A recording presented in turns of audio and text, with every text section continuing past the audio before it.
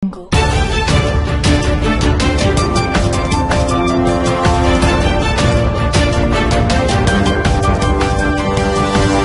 天。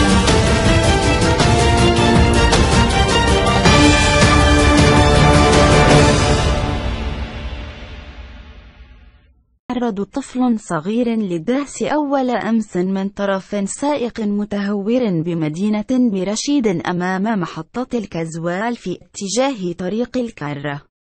وقالت مصادر محلية أن سيارة خفيفة صدمت طفلا يبلغ من العمر خمسة سنوات كان يهم بقطع الطريق ولادت بالفرار في حين تم نقل الطفل إلى مستودع الأموات بالمستشفى الإقليمي ببرشي